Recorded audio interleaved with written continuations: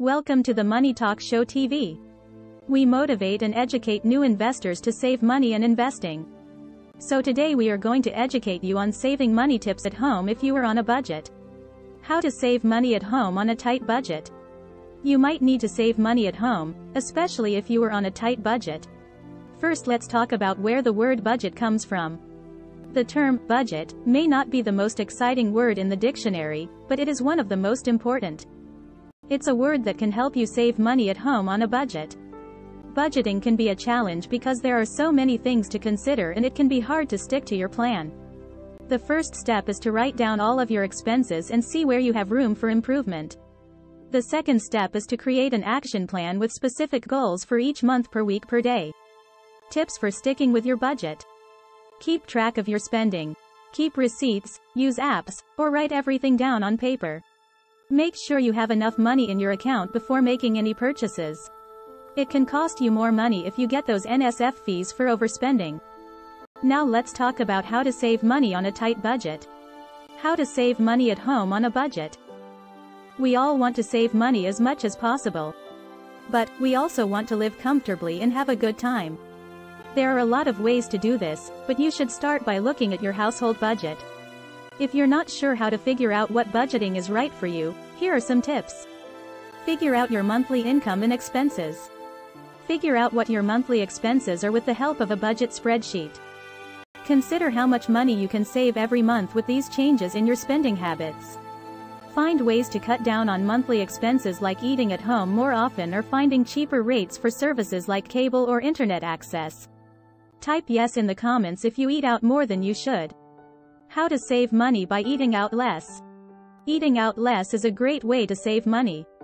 Eating out can be expensive and unhealthy, so it's worth looking into how you can cut back on your restaurant spending. There are many benefits to eating at home more often. You won't have to worry about the quality of the food, and you'll have more control over what you're eating. Eating at home also saves money because you won't be paying for someone else's labor or ingredients.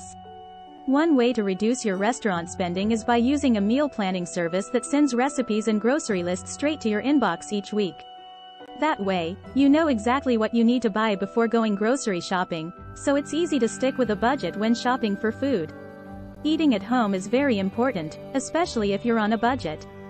So let's move to saving money by shopping online. How to save money by shopping online. Stop buying things you really don't need and can't afford.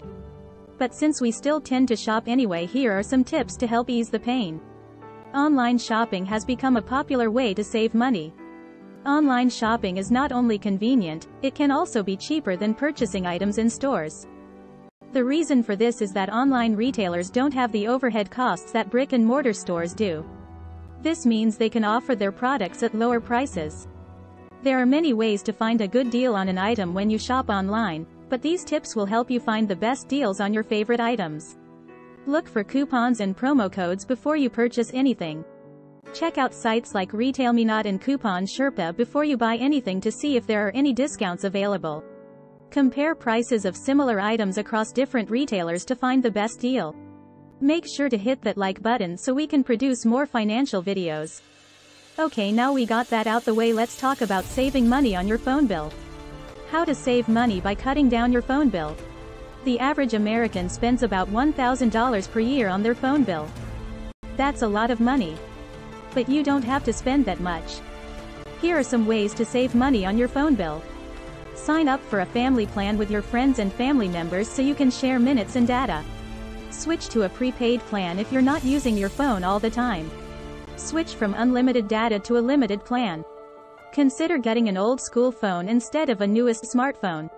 Everyone can't afford the latest iPhone or Galaxy. So be thankful for what you have and can afford. Stress can lead to bad financial decisions and that is why stress is our last tip to help you while you are on a tight budget at home.